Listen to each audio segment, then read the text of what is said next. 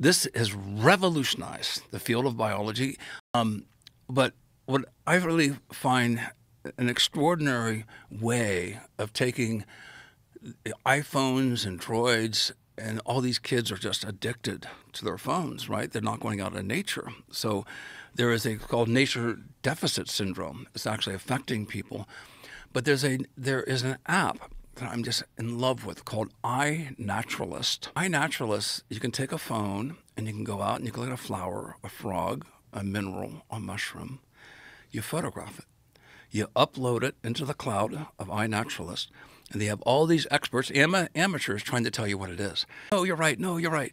And then when it hits research grade, it's when a group of experts come together and says, "Yep, you have Coprinus comatus. Uh, yep, mm. you have mm. Boletus edulis." They agree on identification, but it has fueled the scientific community with all sorts of these citizen scientists finding new species, and oh. it brings people into nature, gets kids excited, and they and then you can go to iNaturalist right now and you can look around your house or this place to see the reports of birds and mushrooms and things. But it's so exciting in the field of biology and mineralogy and ornithology, et cetera, to have all these citizen scientists out there with their phones.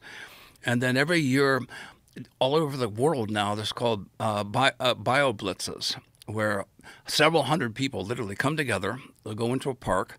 They have all their iPhones and droids, and they they photograph everything and they upload it to iNaturalist to look at species diversity. This has revolutionized the field of biology. I think it revolutionizes bringing children and young people back into nature, and you then you build a community. So it's um it's inspiring to see the kids get so excited about this and adults.